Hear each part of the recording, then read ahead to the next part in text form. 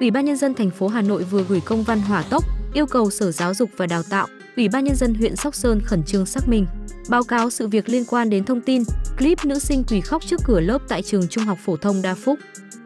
Công văn nêu, ngày 30 tháng 9 năm 2023, báo điện tử Tuổi Trẻ có bài clip nữ sinh quỳ khóc trước cửa lớp đến kiệt sức, trường nói cô giáo không phạt quỳ.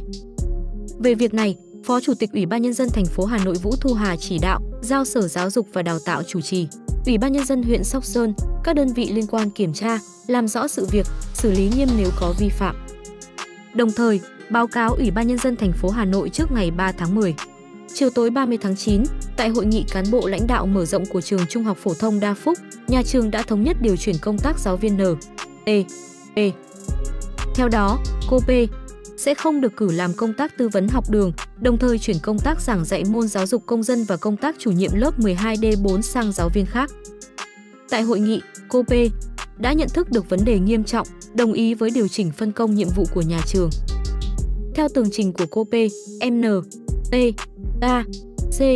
là bí thư đoàn thanh niên lớp, được giao nhiệm vụ đặt bánh sinh nhật nhưng lại đặt loại khác với loại đã thống nhất với cô giáo chủ nhiệm. Sau khi trao đổi, cô P bảo học sinh C ra đứng ở cửa lớp, không cho vào để em tự giải quyết chiếc bánh mình đặt. Sau khi lớp kê bàn ghế và bày cỗ chuẩn bị sinh nhật cho các bạn trong tháng, giáo viên chủ nhiệm đi ra cửa thì học sinh C quỳ xuống ở cửa lớp. Cô P